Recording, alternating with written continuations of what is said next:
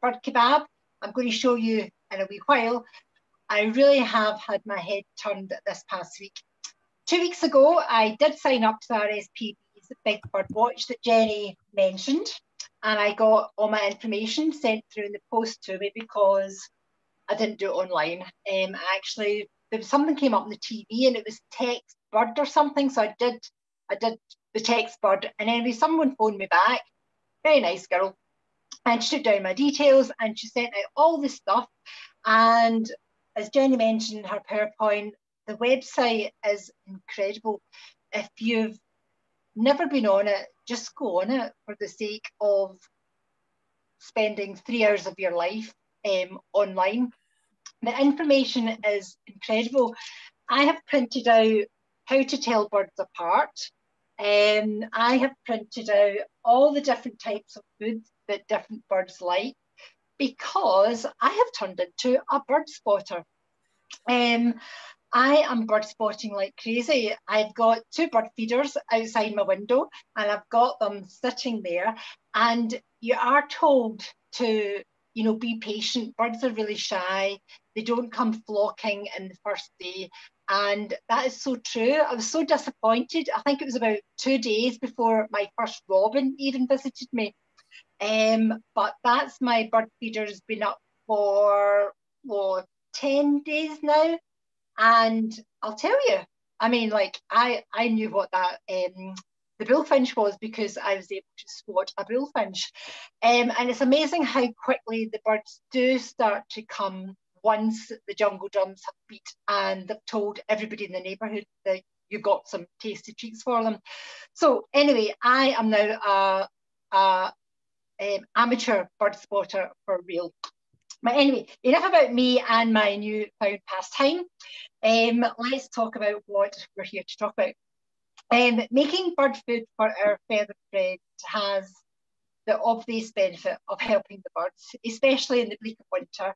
But what about benefits to the folks we care for or support? This tabletop activity, which is ideal for this time of year when really we can't go out or we're limited to what we can be doing outdoors in relation to gardening activity. Um, and especially for those that are maybe a bit elderly or a bit less mobile, going outside, we snow here today, it was a wee bit slippy underfoot. So this tabletop activity enables us to promote the social, emotional, physical and cognitive benefits to many. Outcomes could include creativity, you know, like the triumph in achievement and production of bird feed food itself is amazing our fine motor and cognitive skill, skills, social inclusion, gathering around a table in a group, or as Jenny's saying, even one-to-one. It's a great opportunity to engage with someone on a one-to-one basis. It's fabulous for passive restoration, just letting be. You know, once I get into doing my making the bird feeders here, you'll see there's one uh, activity in particular that is brilliant for passive restoration, which in turn can lead to stress reduction. Um, physical activity and exercise. Okay, sitting around a table and not doing very much other than some um, arm stretches and some fine motor movements could isn't going to burn up hundreds of calories, but it could be the start to some people's rehabilitation from falling from a, a wrist accident, perhaps, or once we've got the bird feeders made, they have to go outdoors. The birds aren't going to come inside to get them, so somebody's going to have to take them outside. And providing the pathway is accessible to where you want to hang your feeders so you can see them from indoors, that in itself is physical activity and extended exercise. And of course, the fulfillment of knowing that you've helped wildlife. As Jenny mentioned, we're part of the wider world. Um, we're just a cog in the wheel. And for us to do our bit for the wildlife um, is only a good thing. It helps them and it, and it helps us. So, Jenny mentioned in the um, on our PowerPoint the RSPB information. There's loads of information on types of bird food available that you can buy from the RSPB site or in most good um, pet shops and most supermarkets stock um, bird feed. But it's interesting when you start to read some of the information on the website. Um, there's some be wary of ultra cheap bird food basically. Um, it's got a lot of fillers in it that really are not suitable for garden birds um, and they can attract the wrong type of bird to the garden.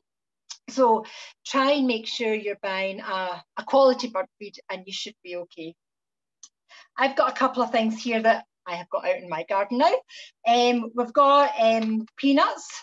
Um, make sure you're using peanuts that are for the birds and definitely not using salted or dry roasted peanuts. Um, robins and wrens and nuthatches all love peanuts in particular. Now, point of interest, I always was told that you'll never get one robin in a garden. That's nonsense, or at least in Ayrshire, it's nonsense. I have got three robins, and I know that because they've all been eating the, the peanuts at the same time. And the other thing that I'm amazed by is the different sizes that robins come in. This, I'm embarrassed to admit that I didn't realise that. I thought they were all pretty much the same size, but I have got three completely different looking robins and one has even got a name. He's called Stripe because he's got a wee white strip that goes up his wee red breast. So anyway, um, I diverse. Um, I'm sorry. Um, so that's the peanuts. Um, grated peanuts are better, and you tend to find that in the good quality bird mix seeds you get, there's grated peanuts through um, the, the mixed seed. But whole peanuts are fine if you put them in a proper peanut feeder, and the wee blue tits and robins hang on to the side and peck. Don't feed whole peanuts in the summertime, just the winter time. Um, sunflower hearts are another popular one. Uh, finches love uh, sunflower hearts. You can uh, put the, the whole sunflower seeds out as well, um, but you tend to get a lot of the shells lying about. It can be messy. If that's not a problem for you, that's okay. But the sunflower hearts go down a big, big treat. And as I've mentioned, this is a, a ready-made bird seed that I put into a feeder, and this is going down a treat. Honestly, goodness, I've had sparrows, um, finches, several finches. I got my first um, long-tailed uh, tit this morning, which was a, a first for. I'm going to stop talking. Oh, let's move these out of the way and let's start doing something. Okay, so the first feeder that um, I'm going to show you how what we can make as a tabletop activity with your clients are Cheerios ring feeders. Now this is a very elaborate one that I've made just to show you how elaborate it can be. Basically, it is pipe cleaners, which in themselves are lovely and tactile and I've worked with groups where some people aren't least bit interested in making the actual bird food feeder, um, but they're quite happy to sit and participate in the conversation. And they've sat and they have taken much comfort and therapy from playing with the, the these fluffy pipe cleaners. Pipe cleaner, and these are like little hoops. Cheerios are like the kind of the, the branded name that I'm sure we'll, we'll all be familiar, but the these are available from slightly cheaper supermarkets and they don't cost so much, but they are every bit as tasty to the, the birds. Now, make sure you just buy the whole grain Cheerios and not the honey coated ones or the chocolate coated ones. There's far too much sugar in them. I don't want the birds having them. It's just the plain, healthy, whole grain varieties. Oops, the table. So what we want to do is take your pipe cleaner and make a V at the bottom, like so, and that stops the hoops from sliding off. You're going to take your hoop and slide it down the pipe cleaner all the way to the bottom. Now I'm going to go quite quickly because you really don't want to sit and watch me doing this and I'll try and put them on a quicker than one at a time. But this is such a great activity for passive restoration.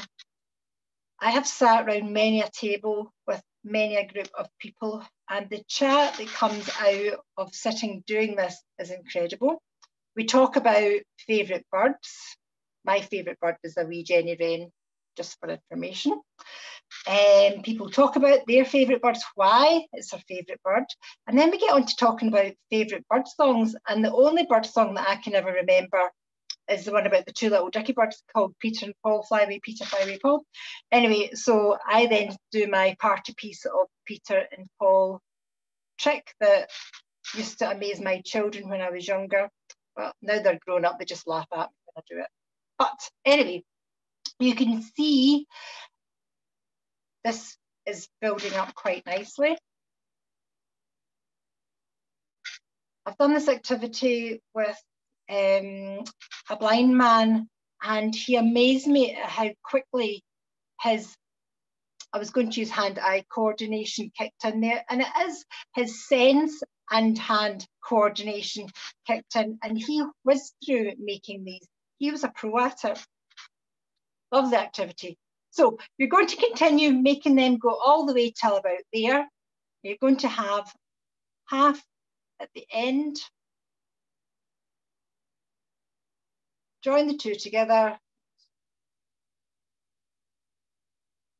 Like so, see that? And twist really, really tightly because the little birds are going to come and land on this hoop.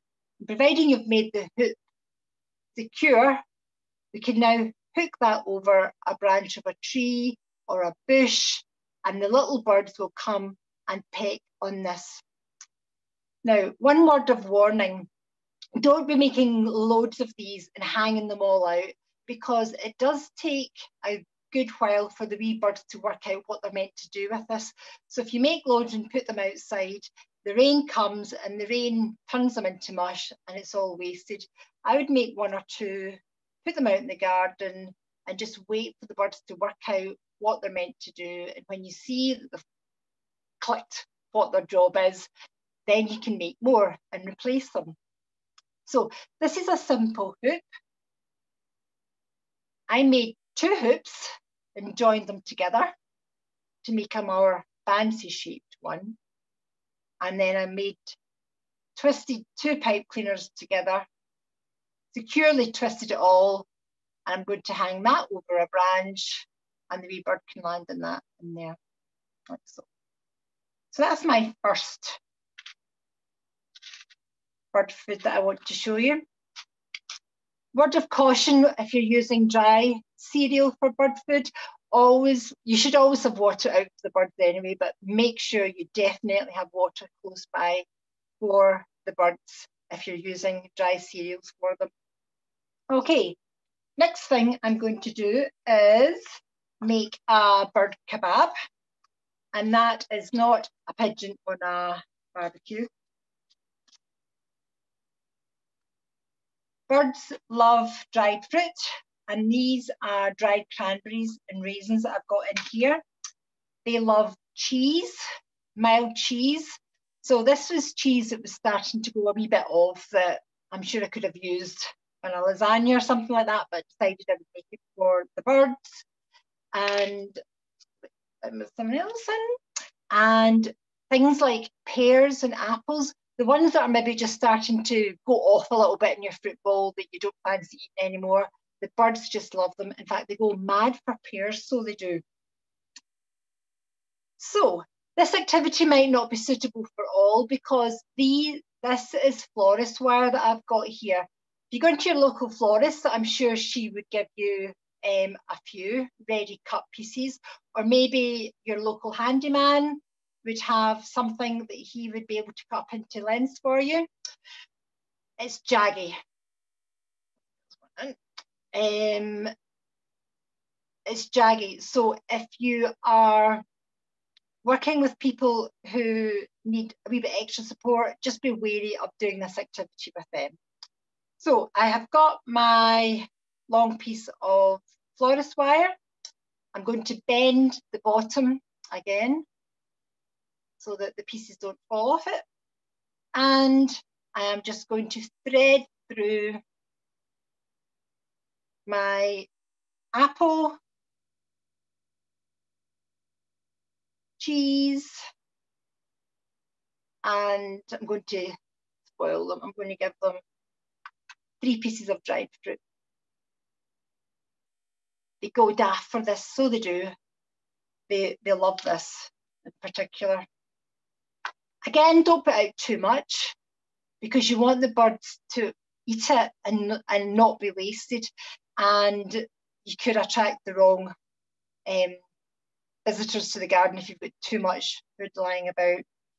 So likewise, I'm just going to keep on threading on my fruit, cheese, fruit, dried fruit, fruit, cheese, dried fruit, whatever way you want. And then I'm going to bend the hoop over at the other end. I'm going to hook that over a branch on my tree that the wee birds can fly over to and peck away and enjoy their kebab. If you're working with people who are uh, prone to anxiety, don't give them so much choice as what I had here, deciding what pattern to make myself. I would suggest that you get one dish and maybe put three pieces of cheese in it, three pieces of apple, and three raisins, and that is what they're going to put on their skewer, and that takes away any unnecessary angst. So move those to the side. Okay. Last one that I'm going to demonstrate is making your own fat balls. This is one that I made earlier. Um, it's a mixture of lard. Now make sure you use lard and not margarine or flora or any of those kind of um, saturated fats because they're not good for the birds. Lard um, is the, the one that you want to go for. And I've got a mix of bird feed here and I have got already chopped up my lard and I've put in a dod of bird feed. You're going roughly one lot of lard to two lots of other stuff. And that can be a mix of ready mix uh, and nuts. And earlier on, I got some porridge oats, Scots porridge oats, and I have grated up some mild cheddar cheese. And I'm just going to plonk all of that in. Now, ideally, I would have uh, melted this fat, this lard, a little bit, um, but because I don't have a microwave in my wonderful hut here, I'm just going to go with it We've been of, with it being a little bit hard. Now, I'm putting gloves on, and for anybody that has watched me doing any of these previous sessions, know that I never put on gloves. But the reason I'm putting gloves on today is because you get into such a mess working with the fat.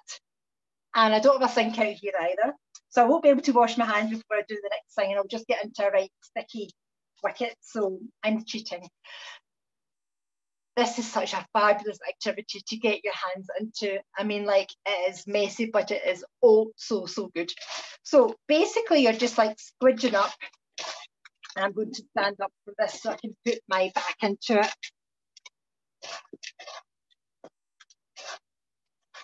The noise is good. The feeling is good. And oh, I've done this with children and they love it and they love getting their hands dirty and it's easy enough cleaned up. Make sure you've got fairy liquid or another kind of washing up liquid close by, a basin of hot water, squirt some fairy liquid onto your hands once you've finished doing this, obviously. Um, rinse it off in the warm water and all the fat dissolves really, really quickly. So it's actually, it's not dirty, it's not I'm saying it's a messy job. It's messy because you can get into a mess. But look at that. That's like a stress ball I've made as well. So there we go. I have now got my cheese, oat, um, oat flakes, oatmeal, lard, bird seed. I could have put in some cake in there if I wanted to, but we've got no leftover cake in our house. And I've just made it into a lovely bowl. So, take my gloves off now. We want to put it into something. We could just leave that ball as a big ball, put it in the fridge for a couple of hours to get it to sort of go hard again. And then you can put it outside into a feeder that takes the fat balls or just put it on a bird table, or you can make it into a little sort of like hang alone feeder itself. Now, any kind of plastic box a pot will do the job. This is a, a, a cream tub.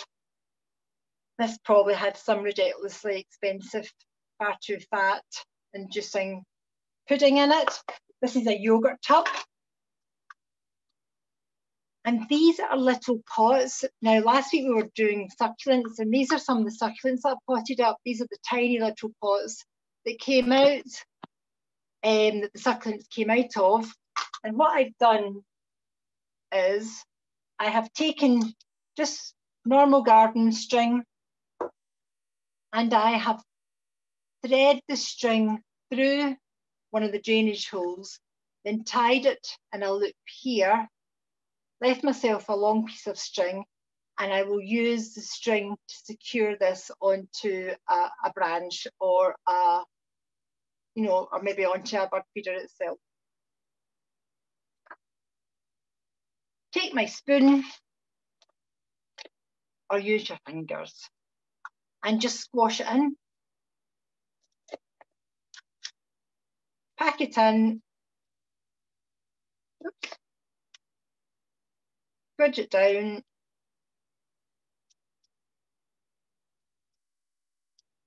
And because it's cold here today, I would actually put this outside straight away because it's going to solidify. It is quite solid just now, but you want it to be a bit harder. Um, hang that outside and the wee birds will come and hang and peck away and get all the goodness of the nuts and seeds, plus the added uh, bonus of having that lovely edible energy giving fat in there as well.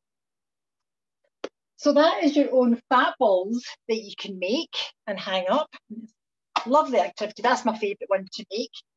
And then the last one that I'm going to show you here is because Valentine's is coming up, I cut out a Valentine shape and I uh, spread peanut butter on it.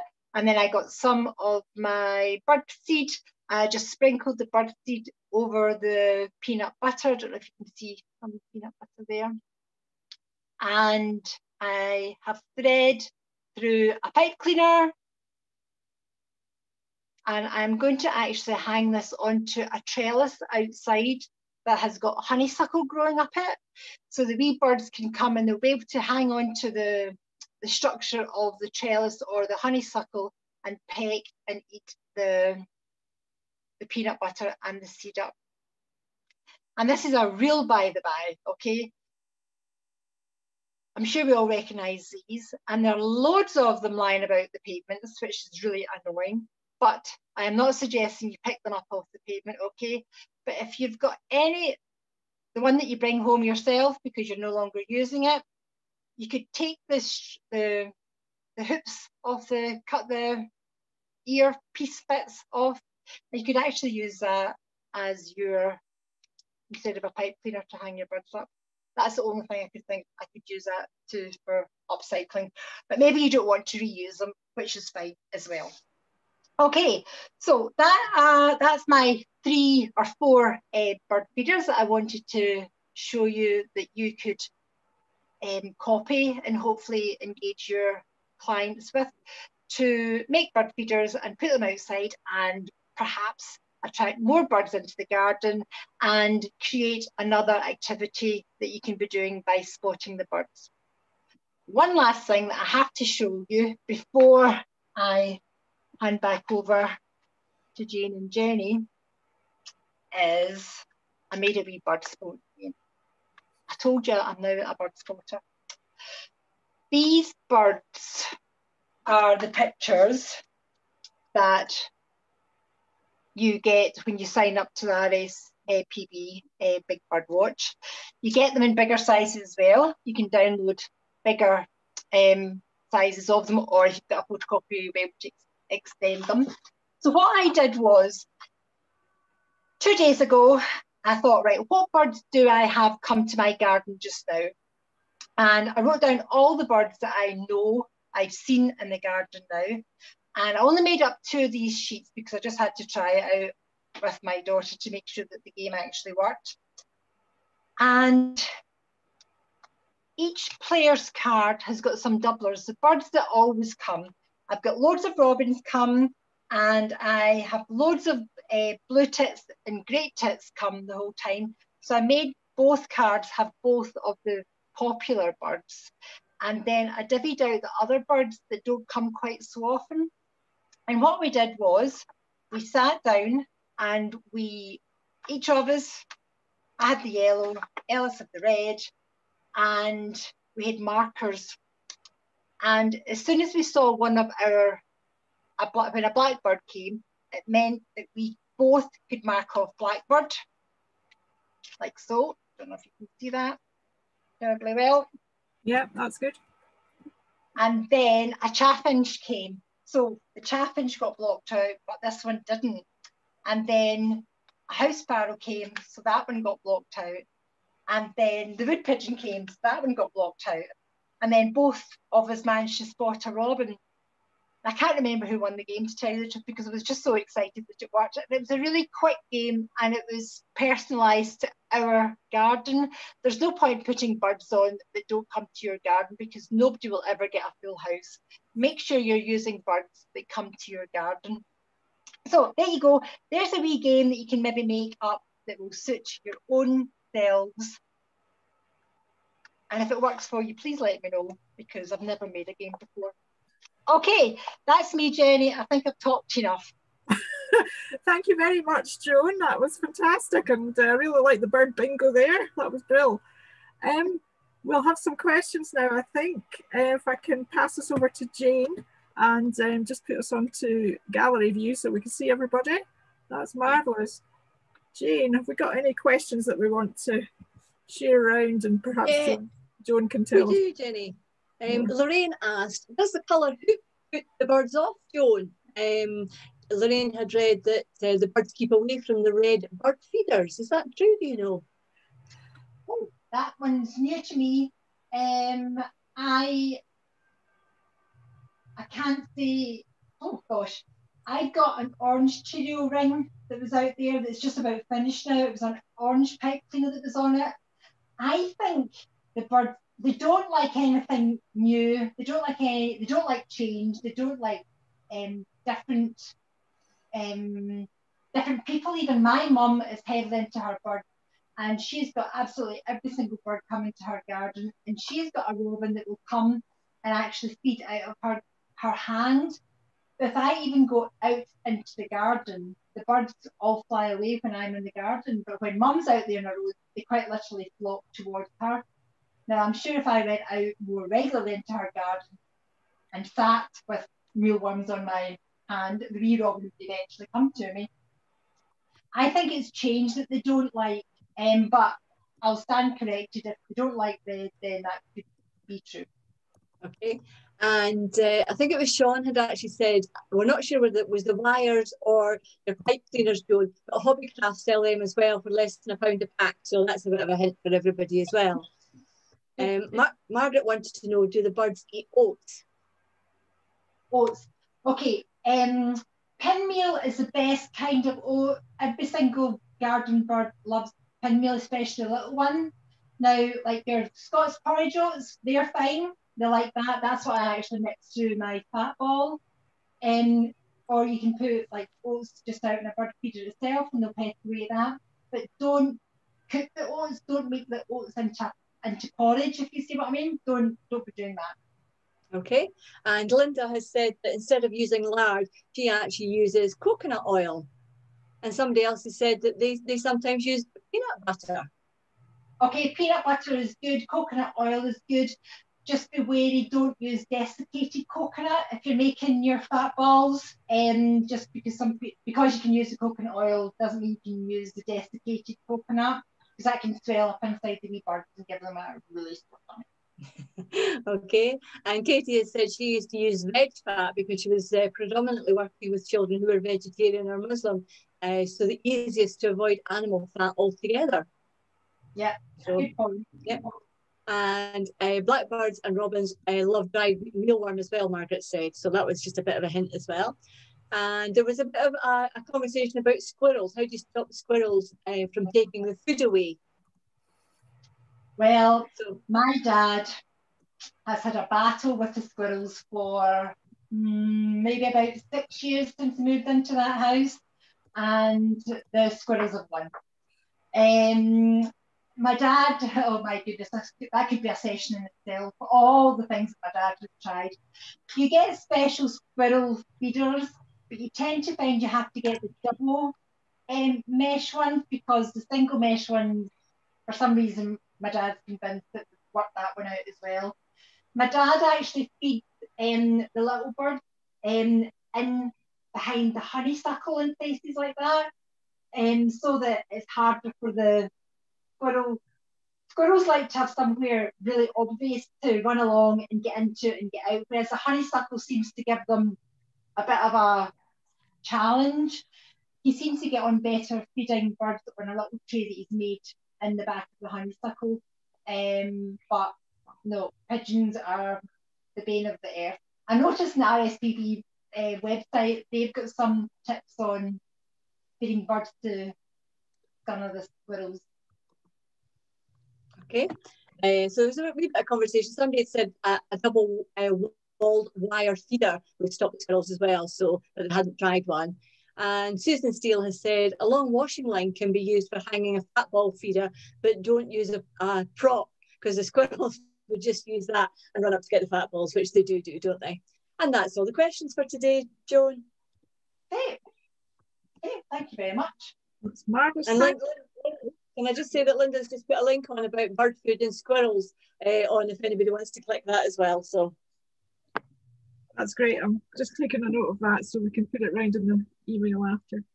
Um, we're going to email everybody afterwards with, uh, well, not immediately afterwards, but perhaps early next week, with um, the PowerPoint presentation links to the YouTube video of this um, session, the practical session, and uh, any, any, other information that we can pop on there. So I'll try and include that one about uh, the squirrels there. So thank you very much, Joan, and can we show our appreciation to Joan uh, through our reactions? Thanks very much, Joan. That was fantastic, and uh, that's great. So um, marvelous. So this brings us to the end of the session today. As I said at the beginning, please remember to send send us your photos. Uh, send us your photos of you doing your doing your activities with your groups, and that'd be great. We'd love to we'd love to see them and we'd love to share them. So um, look out for our um, sessions coming up. Sign, sign up for our email bulletin. That's at the bottom of the Trellis webpage. Um, I'm going to leave you with our link now to the survey. And um, I just want to wish you um, goodbye and thank you very much for attending and making these sessions what they are because it's great to have all of you um, come on board and uh, be here with us. So thanks very much. And um, I'm just going to post up the survey now and um, we'll see you next time.